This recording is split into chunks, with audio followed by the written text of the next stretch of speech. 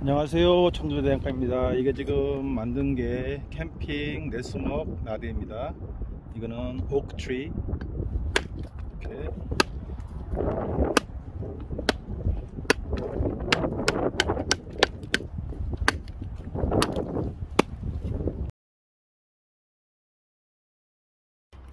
안녕하세요. 청주대장간입니다. 오늘은 어, 옛날 기차 레일로 한 100 년된 기차 레일로 네스먹 나대라는 것을 만들어 보겠습니다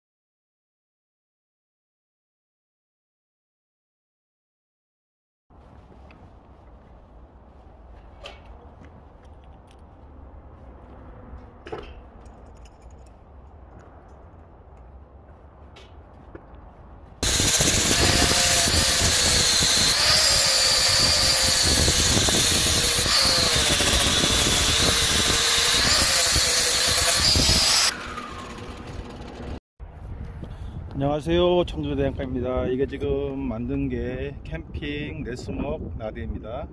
이거는 옥트리. 이렇게.